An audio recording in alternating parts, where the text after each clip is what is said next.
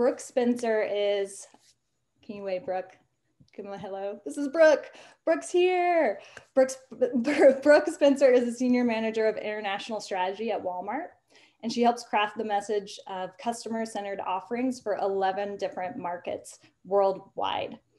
She leads strategic messaging for executive presentations, um, including financial modeling, business case logic, and marketing intelligence. Um, she transitioned to Walmart after spending six years in oil and gas uh, with companies such as BP and Devon Energy. She's highly experienced. She has her MBA, her BBA. Um, she's a co-instructor right now of an MBA management, strategic management course. Um, and we just feel really privileged to have her and um, her generosity in sharing her knowledge with us. And so we, I'm going to pass it off to Brooke. And again, if you have questions, please feel free to put them in the chat as we go. Brooke, take it from here. Great. Thanks, Stacy. Can you guys see my screen that I'm sharing here? Let me get some thumbs up. Yes. Excellent. Okay, great. Uh, thanks for having me, guys. Again, my name is Brooke Spenser. Um, I uh, have a background in finance and strategy, and so I'm super excited to give you this presentation today. Uh, I'm by no means a data scientist. I won't pretend that I am, but what I'm here today is sh to show you how impactful data can be for every person and every job and every idea that you have. So tonight we're going to walk through why data is important, the difference between basic data and an insight, and then how you can use your data to tell a really good story. So um, we are going to have some breakout rooms tonight. So as Stacy said, please be ready to engage. Please be ready to talk to the other people in your room. Um, I think that's one of the best parts of a, of a presentation like this. So we're going to kick it off and let's talk about why we need data. Okay. So, data is critical for identifying problems, testing solutions, and improving products. Basically, you can't improve what you can't measure. This framework I'm showing you here is one that's commonly used in the Lean Six Sigma process improvement, which is like the holy grail of improving anything. And the second step in it is to measure because you have to measure something before you can improve it. So data, when used correctly, can help you prove or disprove your hypothesis and when you use it to be persuasive, it means that your argument is indisputable when you use data correctly. So, super important to have data. We all need it for all of our jobs. Now, there are two types of data that I'll highlight for you tonight qualitative and quantitative. So, qualitative is more long form, open responses. You might collect it through something like a survey or a focus group or an essay. And it's usually sentences and responses um, that don't have quantitative numbers in them, like they don't have numerical values, they're more open ended. Then there's quantitative data. Now, quantitative data has to have a numerical value. You should be able to do calculations with it. It normally collects a much larger sample size because you can aggregate the data easier. Um, and the questions are normally very close-ended. So something like multiple choice questions, um, could be you know percentages rankings ratings things like that those are all quantitative now when you're doing research and you're say for example investigating customer needs you might start with a qualitative survey to sort of get a lay of the land and understand what your customers need and what the options are then you can narrow your survey down and pick maybe one or two options that you want to highlight with very specific quantitative follow-up questions so it takes a big problem like customer needs and it narrows it down into really precise pieces of quantitative data that you can then use to tell the story that you need to. So tonight we're going to focus on the quantitative data side of it. So how do we get quantitative data? There are really two ways. You can do primary research, which is where you go out and you conduct the survey or the quiz or the focus group or whatever it is, and you collect the data firsthand and do the analysis. So it's your data, you own it, you found it. The other one is you can go get secondary or existing data from other databases. So you can go to government websites, sports websites, anyone that has open source uh, data that you can export, you can go pull from there. Now, when you're collecting secondary data, you have to be really careful that what you're pulling is good data. It's way too common that you can end up with bad data. And I'm going to show you an example of that tonight. So when you're using secondary sources, make sure they're verifiable sources, that they're good quality, that it doesn't come from somebody's uh, unreputable blog.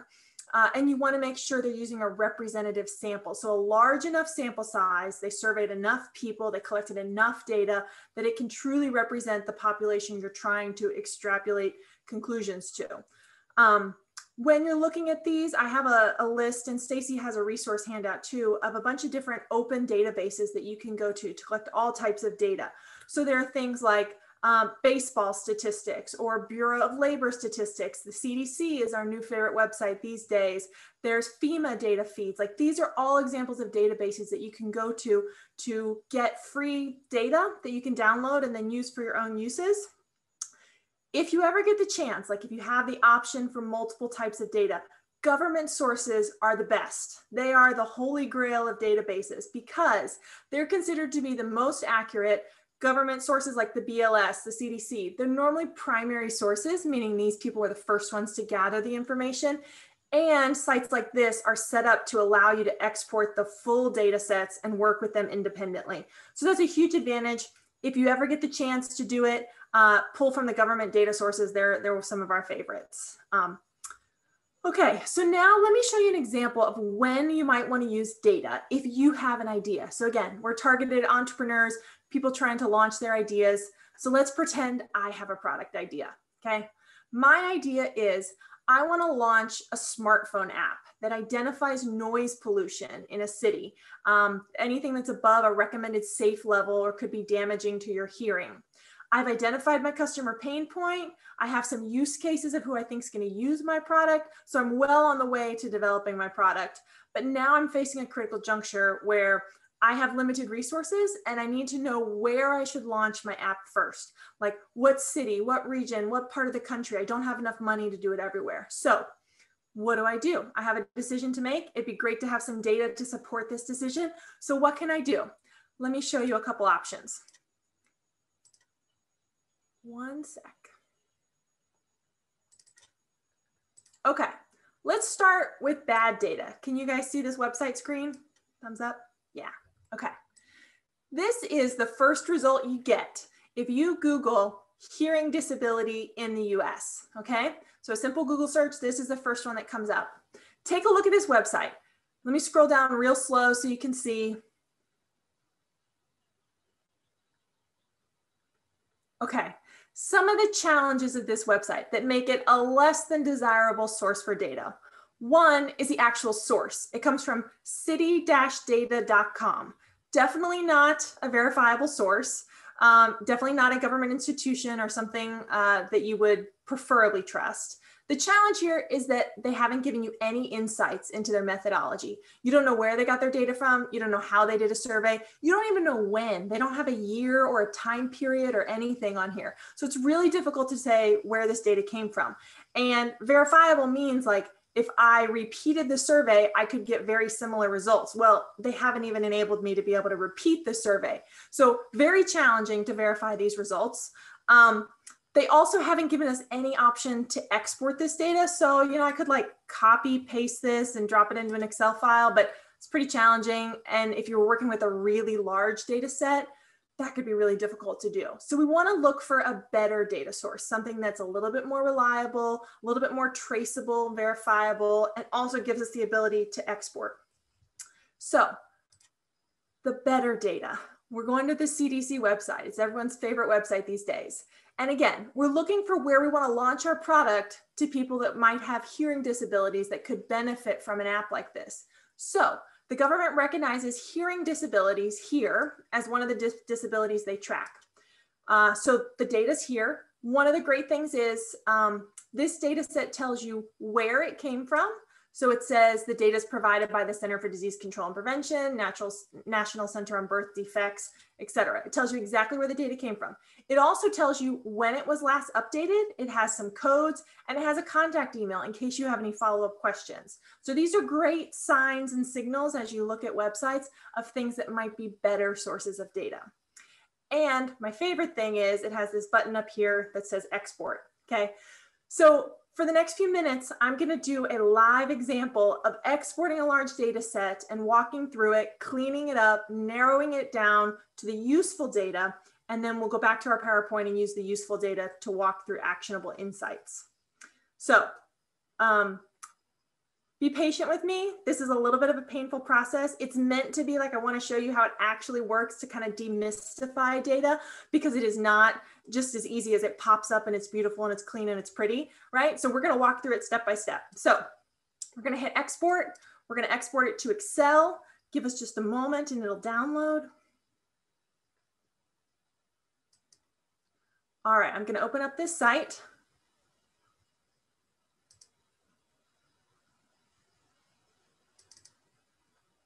And let me know if you can see Excel.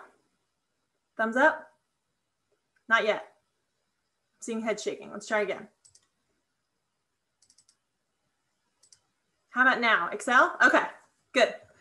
Okay, so this is the natural export you get um, when it comes from the CDC's website. It is challenging for sure. There's a lot of data in here. So just as an upfront, let's look down. We have 1,500 rows of data we're working with dozens of different columns, okay? So you've got a lot of data and we need to be able to sort through this quickly and get to some data that we can actually use. So here's what I'm gonna recommend we do.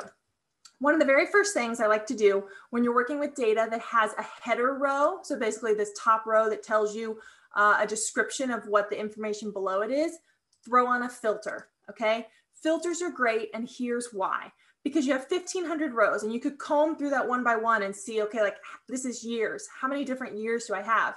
Or you can click this cute little arrow and it'll tell you, we only have the years 16, 17, 18. So really easy to get a quick overview of all the different data that's below you in those 1500 rows, okay?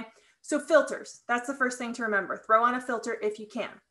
The next thing is when you use these filters, as you click on the little arrows, you can see that for some columns, every value in the column is the same. Like for this one, every value is disability estimates, okay?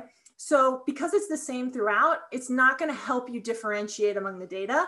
So I recommend you either hide it, or if you're feeling bold like I am tonight, you can delete it, okay? So we're gonna go through and we're gonna delete some of these columns that are less useful to us, okay? Now be careful as you delete. Again, you can hide it if you're nervous and think you might want to undo it, but I've looked at this data set a few times, so I'm pretty sure I can delete out a few of these things. Um, so we're going to delete out these, these columns, totally blank, nothing there. So definitely get rid of columns like that. Anything that is not meaningful, anything that is not going to help you identify and sift through your data, take it out. It will definitely simplify what you're trying to do. Okay. Uh, these columns here, these are confidence intervals. I'm not going to use them in this exercise, but they are real. So I'm just going to hide them for now. Okay. You've got these two columns, columns E and F. These are data value and data value that ALT stands for alternative. Now throughout, these are the same. So if you have duplicative data, that's another thing that you want to get rid of. Okay. So now we're down to, let's look at what we have. We have a year column we have a location and then we have a location description, which these are actually the same thing. Like if you'll notice, it's just an abbreviation and then a state name. So let's get rid of this one. Again, duplicative data. Then you have a column for response, which tells you what type of disability this person is self-identifying with. And then you have your data value. So this is the percentage of people in that state who are identifying with this certain disability, okay? And then you have an absolute number, you have a weighted number, et cetera. We're not gonna mess with those for now. So you've taken this giant data set, you've thinned it down into these few columns that are the most useful. Next thing we're gonna do is we're gonna insert a pivot table. So I love pivot tables, I think they're great. It's gonna open up a new sheet for you. And now when you do a pivot table, you have the ability to move things around real quickly, which can be very helpful. So again, let's pause for a second and let's remember the question that we're trying to ask, right? The question is, what places, in this case states, have the highest hearing disability or the highest hearing loss problems. That's what we want to target with our product, right? So let's go with locations in the rows. Okay, so we've got our states listed out here. Then we also want to filter so we just get hearing disabilities, right? Because there were all kinds of disabilities. So let's say we only want hearing disabilities. Okay. Uh, years, we probably want to filter by years. Remember, we had 16, 17, 18. So I always like to default to the latest and greatest data. So let's say 2018. And then we're going to take our data value and we're going to drag it into values. Okay. So what we've done here is we've organized. We're now down to two columns. We've sifted to just 2018 and just hearing disabilities. So what this is giving us is a list of states and the percentage of people in 2018 that identified this as a, having a hearing disability, okay? Now, again, with meaningful and non-meaningful data, if it doesn't mean something to you, take it out, okay? So I'm a student, I'm trying to launch this product. I don't think I can launch it in Guam, so I'm gonna take Guam out. I don't want to do a region. I only have enough money maybe to do one or two states. So I'm going to take out these regions and I'm going to be left with just a list of states that I feel like I can actually realistically launch to. So you have this list, but this is still a pretty long list, right? Like you're looking at 50 rows or so. So how do you take this long list and make it quicker and easier to read? One of my favorite things to do is to use conditional formatting. So you highlight the whole data set that you want to look at and we're gonna go up here to conditional formatting. Has these great thing called color scales. So you select a color scale and it's gonna color things, either higher is red or higher is green. In this case, I've said the higher the number, the higher the hearing disability, so I wanna make it red. So what this allows you to do is to quickly identify the high and low values in the data set. So for example, you can see boom, District of Columbia, one of the lowest ones in the whole data set. Even without looking at the bottom of the list, you can see it's one of the lowest. Arkansas, kind of mid pack, maybe a little high because it's slightly orange, but it's not red. So that's good, right? So tell me now, as you scroll down, what is the glaringly obvious number you're seeing? Yeah, West Virginia. Okay, so West Virginia here, clearly the highest above and beyond any of the other states in reporting hearing disabilities. It's at 12.4%. And it's so bright red because none of the other states around it are nearly as high.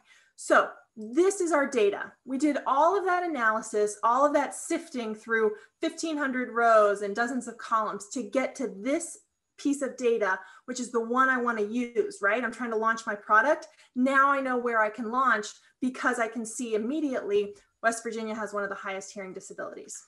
So uh, let me switch back to my PowerPoint screen. Hold on just a sec.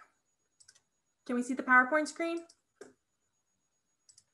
Thumbs up? Okay, great. Um, so now what I wanna do is walk you guys through. You have that piece of data, right? We know West Virginia, 12.4%. How do you take that piece of data, that one random fact, and how do you turn it into an actionable insight for your product? Okay. So I have a framework here I'm going to present to you. You have the data. This is the very bottom of the pyramid. It's the very start of your work. So the piece of data here is, again, 12.4% West Virginia's population. That's an objective observation you gathered on research. It's a quantitative value. And now that you have that nailed down, we can progress through. The next thing you want to do on your path towards an actionable insight is turn that piece of data into a fact. So, a fact. A fact is when you take a piece of data and you compare it to other data points using a relative or trend metrics. So, you want to remember the acronym ART, A R T. It stands for actual, relative, and trend. And what that means is you're going to have a superlative word in here like higher, highest, faster, slowest right? That exemplifies that you're doing a comparison. So in this case, we're comparing the hearing disability rates in West Virginia, Kentucky, and Wyoming and saying those three are the highest of all the states. So that's a relative comparison, okay? The next thing you're gonna do on your path is try to get to an insight. So an insight is when you take this piece of data that you have and you connect it to a seemingly unrelated other fact. And it makes you say, hmm, that's interesting. So the seemingly unrelated fact that we're comparing to today is that coal mining jobs are the highest in West Virginia, Kentucky, and Wyoming. So you have these two facts that seem to be unrelated. Coal mining jobs are the highest there, hearing disabilities are the highest there. So this, by the way, this does not prove causation. It does not prove that one caused the other. It simply proves that they're connected, okay? The same states are affected by these same two things. Now, the next thing that you want to do, you always want to bring your data to action. You want to be able to recommend an action that if you were like the manager or the owner or the leader of a company, you could make a decision based upon this information. So in this case, for my product, my app that I want to develop, my action is we should target cities and towns near coal mines because that's where we'll find consumers that are affected by noise pollution. So these last two bits here, the insight and the action, those are what's most useful to leadership, right? When you do senior executive presentations, this is what's most important to tell them. They're less interested in the data. They probably don't have time to sift through it. So as much as you can do that and deliver them insights and actions, that'll be things that they find super useful. All right, so now we're gonna give you guys the chance to practice this. So we're gonna go into some breakout rooms that Stacy's gonna set up. And in your breakout rooms, I want you guys to start with a piece of data. It can be anything, like a fact you heard on the news, something from your research paper last week, like whatever. Start with a piece of data and work it through this framework. And then when we come back together, I want you to share with me what action you're going to take based on the piece of data that you started with. Okay? Let me pause. Any questions before we go to breakout rooms? Okay, we're we're about to go. I just also want to say if you're in breakout group number one, will you do me a favor and not accept your invitation to go to the breakout room? We're recording, so it's just nice to have some of the conversation captured. So for those of you in breakout room one, just go ahead and stay here and ignore your invite. Okay, heading off. Maybe let's kick it off with a quick intro. Who's in our room here? Hi, I'm Sai. I'm an uh, undergraduate economics major, and um, yeah. Hi, Sai. Nice to meet you. Nice to meet you. Okay, well, it might just be. I know Rachel. Hey, Rachel. Yeah. Hey. Okay, well, it might just be the three of us, and we can we can do a practice round. So, Sai, um, hit us with a piece of data, like something you've collected or randomly know, and we'll work off that. Hold on, you're on mute. I can't hear you. I don't think I have one like at the top of my head. You don't have like a favorite economics fact or something you've seen in the news recently? No. Okay, okay. Uh, Rachel, you got anything for us?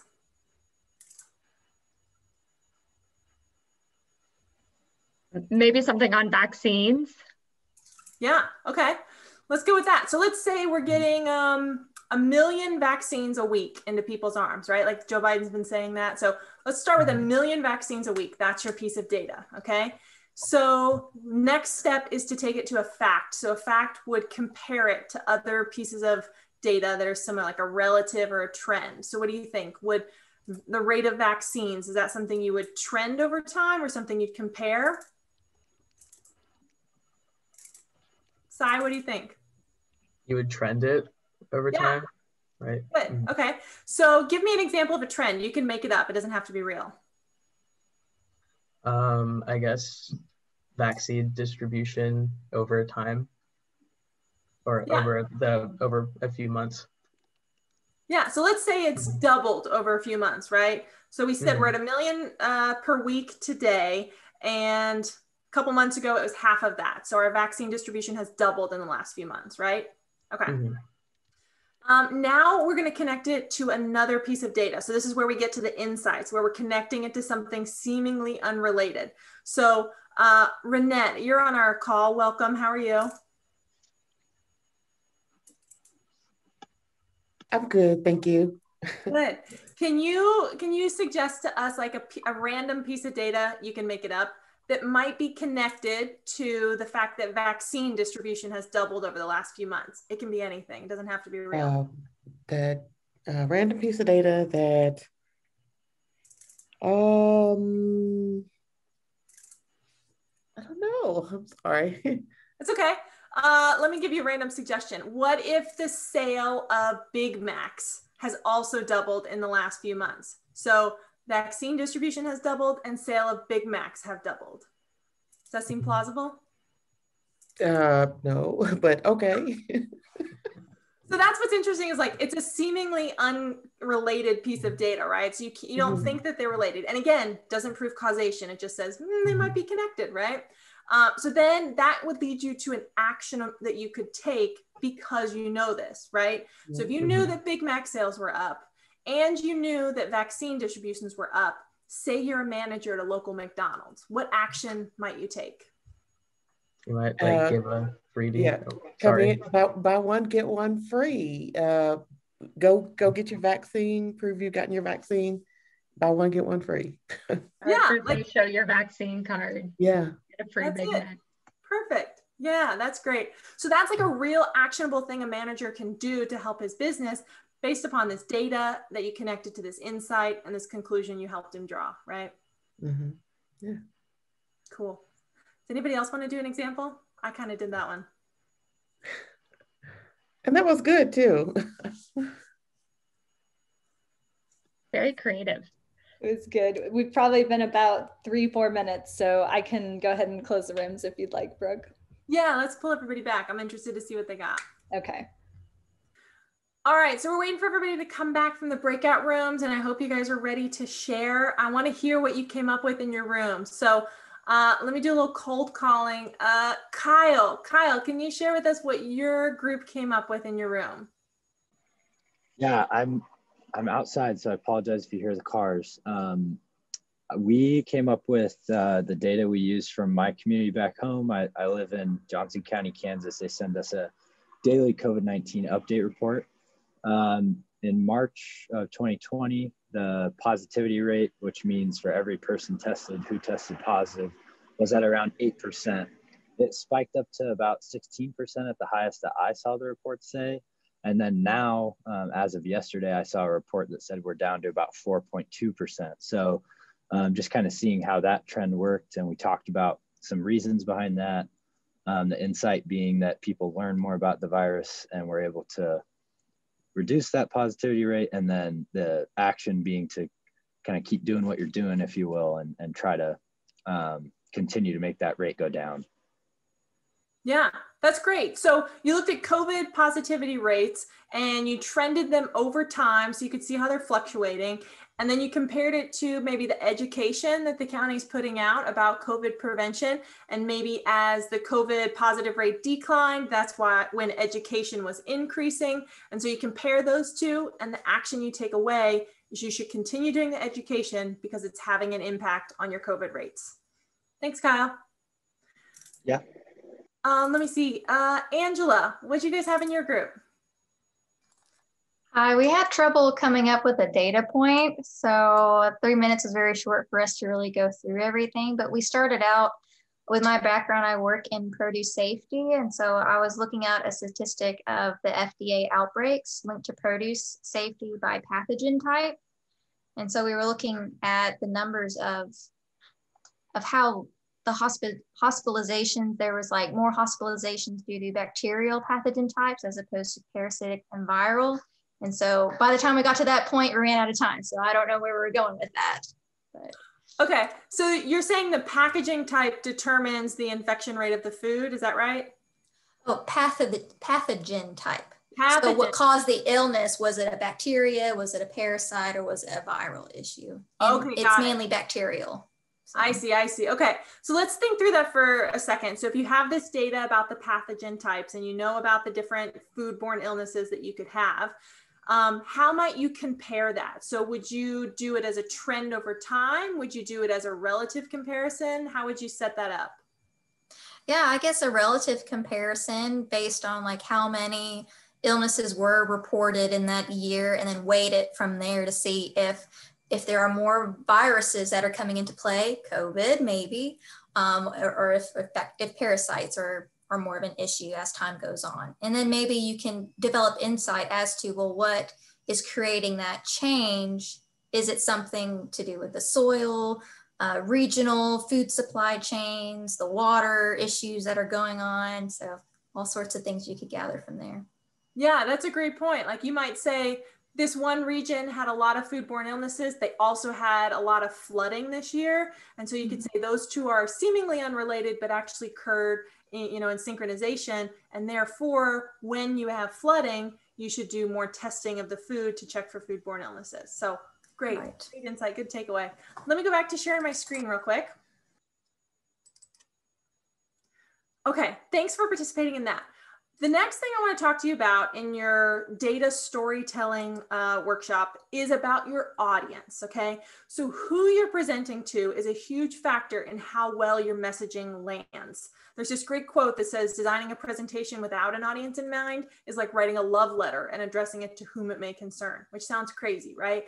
But every presentation you do has to be targeted at your audience. And there's a lot you may or may not know about your audience, but everything you do know, you need to put into practice. So there are often unseen audience factors, like things that you need to know about your audience that will not always be immediately obvious. So I'm going to identify six of them here for you tonight. So the first one is knowledge. What does your audience know? What do they not know? What do you need them to know? The next one is their attitude. How are they coming into this presentation? Do they have any pre-existing biases you need to know about? The third one is a voice. What voice do they really have in making these decisions that you're trying to get them to make? The fourth is emotions. What are their emotions? Are they stressed? Are they tired? Are they distracted? Maybe in a hurry? You need to know these if you're trying to talk to them. The fifth one is incentives. How are these people that are listening to you incentivized? Is it by money? Is it by time, by reputation? Like, what are their driving factors? This is important to know. And the sixth one is their logic. How do these people think? Do they think logically through, they like um, maybe math, logic, uh, facts and figures? Or are they more storytellers, visionaries, artists? Like they think more abstractly. You need to know about them so that you can present to them in the way that is most efficient and easiest for them to understand. Okay. So we're to do another breakout room exercise. Um, we're to split into different breakout rooms and each breakout room is assigned a different audience. Okay. So I've made up some audiences here. These are totally random and it's a huge variety. Everything from like your roommates and neighbors, your family, maybe a group of college professors, a kindergarten class, like totally random groupings, but they have easily identifiable characteristics. Okay. So as you go to your breakout room, whatever number room you are is the audience that you're going to analyze. And you're going to analyze them on these six unseen factors. And we're going to put in the chat a Google Sheet. And the Google Sheet has a tab for each breakout room. And it's got a list of the six factors. So nominate one person in your room to be a scribe and they can type out, um, you know, and help collect responses for each of these factors. Joe or Kyle or Federico, are y'all there? Yeah, I'm here. Hi, Kyle. Joe just wrote Hey. get off, so. Hi, Gabriella. Hi, you said breakout room Tuesdays, right? Yeah. Okay, perfect. I accidentally out of habit pressed join breakout room. No worries. That's good. Okay, so we're room two, which if I look at the Excel sheet, says we got the audience of Google software engineers. Uh, does everybody have the Google sheet open? Check the chat for the link. I have it open. Yeah. Okay, cool. Uh, Angela, you, you want to take notes? We can talk through it. Yeah, that'd be great. Cool. So our first element is logic. What kind of logic do you think Google software engineers use? Engineer's logic, very analytical and s- straightforward. No jargon, no slang, like very technical. Yeah, I would agree. Let's just say they focus on metrics and, and how to measure things um, in terms of their progress rather than, I guess, uh, uh, quantitative is what I, the word. Yeah.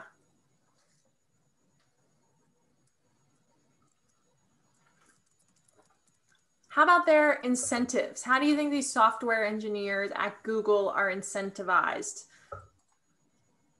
Um, maybe like bonuses, job uh, raises, promotions, um, just keeping their job in general. Yeah, so they're motivated by whatever the company goals are, maybe whatever their team goals are. hmm Do you think there's a lot of room for personal motivation here?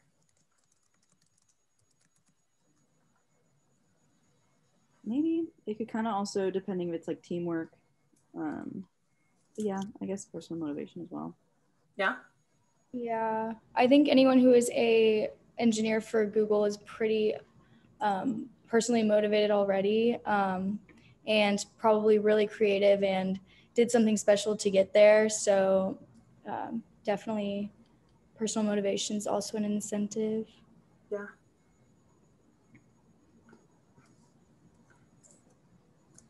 Okay, the next one's emotions. So let's pretend that this is, you know, a pretty high stakes presentation. We're deep in the code development with this group of software engineers. What kind of emotions do you think they have?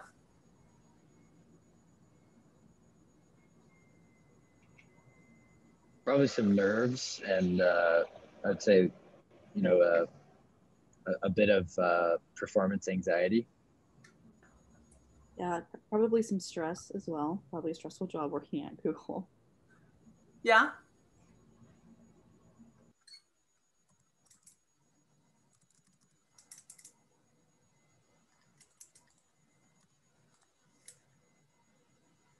Okay, what about their knowledge? What do these people know? What do they not know? And then pretend, what do we need them to learn from us?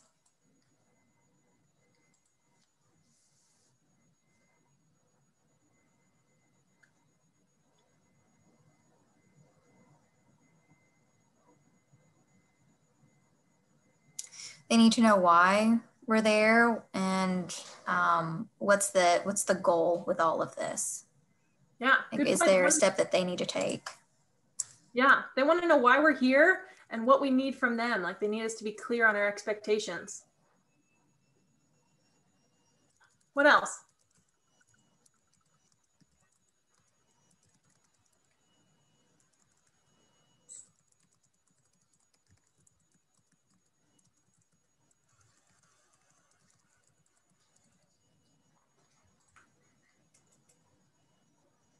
Anything else on knowledge? Anything you think that they don't know that you might be able to tell them? Like if you're presenting to them about something. Um, I, I guess if, if you have like a like a certain topic, you, you'd want to you'd want to let them know about the topic that you're educating them on. So if let's say it's financial metrics that you're trying to track, how that relates to them. Yeah, great point. So anything outside their core subject matter, like anything not engineering and not software, you're going to need to bring them up to speed on. So whether that's finance and you need to talk to them about their budget or their P&L, um, maybe it's design and you want to talk to them about like color or customer experience. Those are all things you're going to have to educate them on. They don't know. Okay, how about attitude? What do you think their attitude is as you're coming to them with this idea that you have that's going to require them to do a lot of work?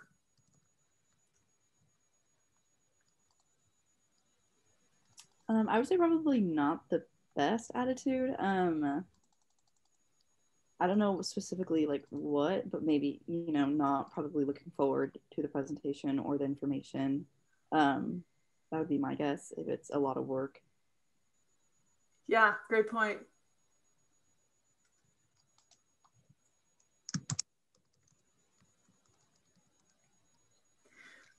I keep thinking that if if someone's working at Google, they have they have excelled in their in their sphere, and they may think that you're coming to them with a knowledge base below theirs. Maybe they mm. feel like maybe there's an ego at play here. Yeah, that's a great point they definitely feel overqualified.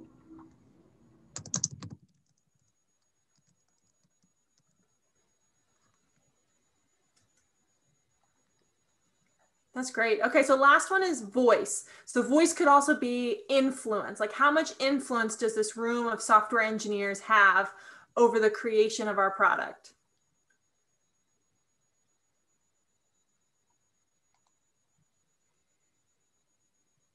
If it's a tech heavy product, they would have the strongest voice since they would be leading all of all of that. They would have that knowledge base and could leverage a lot of power in the discussion too.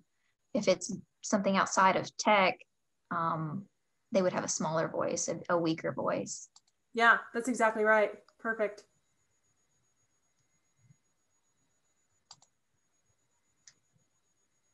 Anything else to add? Any other points you guys would say about this room of Google software engineers? I'd say come at it from a standpoint of a bit of humility because if you don't know something you're asking them to do, then you need to understand the workload they're about to take on. Yeah, that's hugely important. We're um, about at time, so I'm gonna. Yeah, pull them back. Sure. Thanks for note taking, Angela. That was great. Anytime. All right, we're bringing everybody back from the breakout rooms. I'm going to ask one person to share on their audience and what they learned about their audience by going through these six factors. Um, any volunteers? Anybody want to share? Kara, what, what room were you in? Who was your audience? Well, I am first in line on the screen, so I don't blame you for choosing me. However, I joined the Zoom late because of school pickup. So I had just gotten there, but we had a yoga class, and our group, I knew a lot about yoga and nothing about what we had talked about so far since I just joined. My other two members knew what the presentation had been and nothing about yoga. So uh, uh, it was a bit of a group effort. And what I would say is uh, in thinking, in reflecting on uh, the dynamics that you've given, you know, if you're in a yoga class, you're really just a participant. So you don't have a ton of voice in what's happening. Um, I wouldn't necessarily rate them super high on a logic scale. Like I've been in a lot of yoga classes. I wouldn't say that's most people's first approach to um, most things if they're seeking out uh, yoga. Um, I guess a nice part would be that you would expect a pretty emotionally tranquil, um, relaxed. So for attitude and emotion, you would expect a pretty calm and receptive audience. Um, which one am I? What am I missing still? I don't have the thing in front of me, but no, that was um, great. That's perfect. It sounds like you guys, we had the room of Google software engineers. So sounds like you had the polar opposite of that group. yeah, I would say so. Okay, perfect. Anybody else want to share about their audience or anything they learned as they were talking through the idea of audience factors? Cool.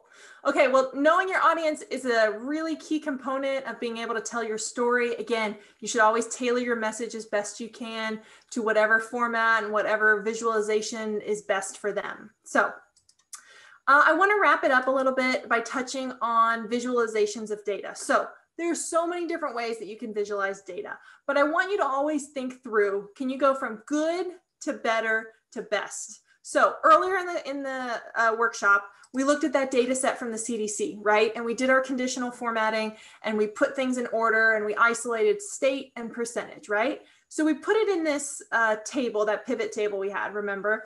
And we used conditional formatting to highlight it. So this is a, a good visualization of data. Like there's some coloring, there's some organization, like things are in a, a somewhat order. So this is okay. If this was all you had, it's definitely better than just text. It's good but how can we make it better? So let's think about how to visualize it a little bit more. What if you could put in bar charts that represented uh, the percentage of people who had hearing disabilities in the state?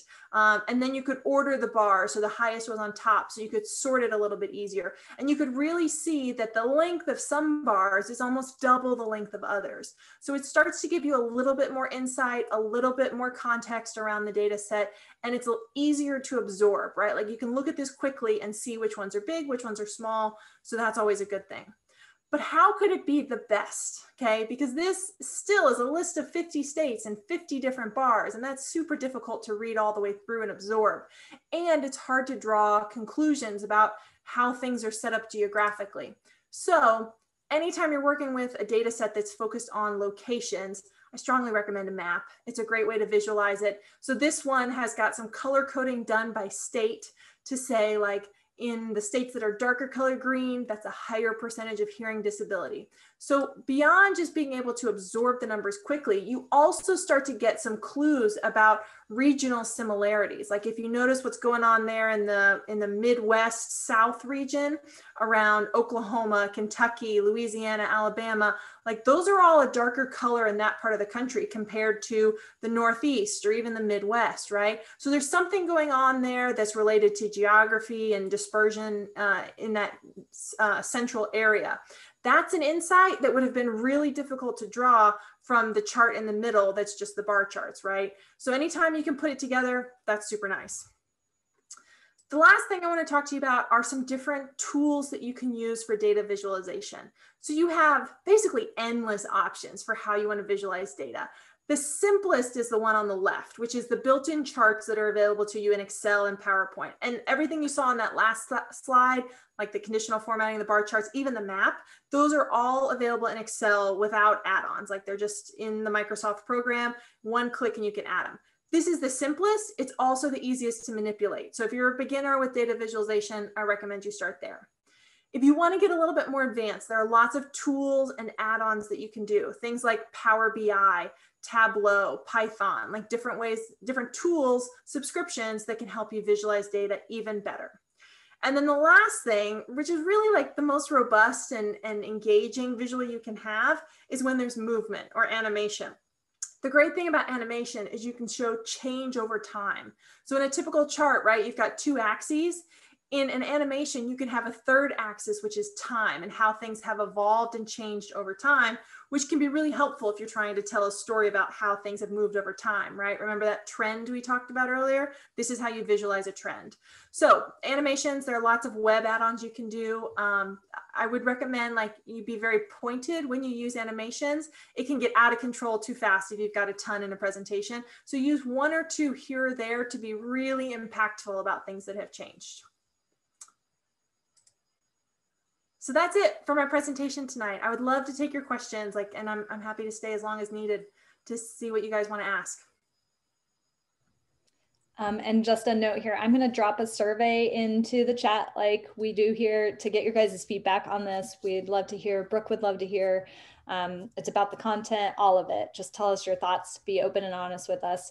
So I'll drop that if you don't mind um, filling that out at some point. And I'm going to let Brooke take it over again with questions, but just want to remind you too that we do have um, a workshop next week on identifying and sizing market opportunities at the same time. So feel free to join us then. Questions for Brooke?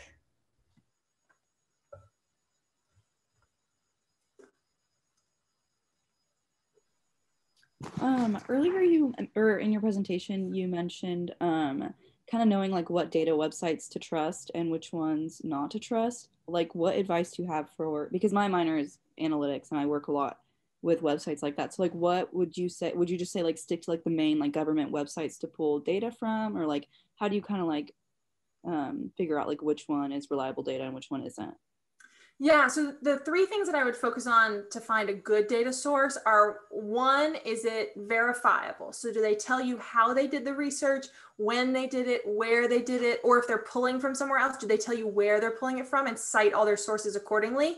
Because what that should enable you to do is go verify their source. Like you could repeat the experiment or you could repeat the survey in the exact same conditions they did, and you should get the same data set. So, if it's verifiable, that's really nice. The second one is if um, if it's exportable, if they allow you to like pull it off and put it in Excel like we did with that CDC data, usually that means the data is a lot more trustworthy because they'll let you take it and manipulate it if you're looking at a website that's got like an infographic and you can't copy the numbers and whatnot, that's going to be a lot harder to work with and a lot harder to, to organize. So I look for things that export. And then the third thing is you want to have a source that you can go back to for questions, whether it's uh, like an email address, it's a, you know, a Q&A site, something like that, somewhere you can ask questions so that if you get questions about your data, you can go back to the source and say, hey, I pulled from this website. I'll follow up and find out from this person how they did such and such. All right, thank you. Yeah.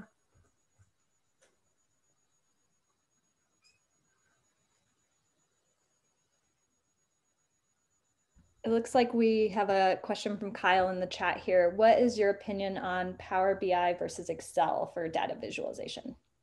Yeah, so I would recommend Power BI if you're going to be doing a repetitive report over and over, like a weekly report, monthly report, something that you have to recreate um, on a regular basis, because you can automate that in Power BI. Like you can have the data set, you can import it, it's already set up, one click, you know, and you're ready to go If it's a one-time thing, like you only need to do the data once, like how we did tonight for the CDC, if that's the only time I'm ever going to need to do it and the data is not going to get republished, then I would just do it once in Excel and knock it out.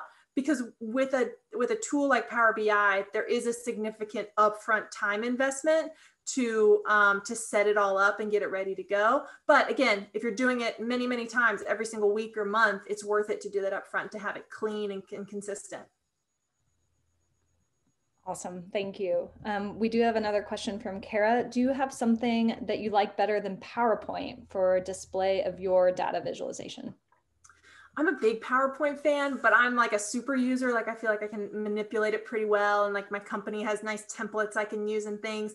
If you're starting from scratch, I would look into like some themes that you can use in PowerPoint that will help you with coloring and organizing your graphs. Um, it's really my favorite tool. I don't recommend much beyond it. I do think PowerPoint is significantly better than Excel if you get the choice. Like PowerPoint's a lot easier to manipulate and you can do better design work in there. So PowerPoint better than Excel. Well, thank you guys for being here. Um, we're going to stay on the line. If anyone wants to stay on and have any questions that they don't feel like asking of the group, feel free to stay on. Um, but thank you guys for being here. We really appreciate it and hope it's uh, been a good time for you. Thank you, Brooke, very much for your time.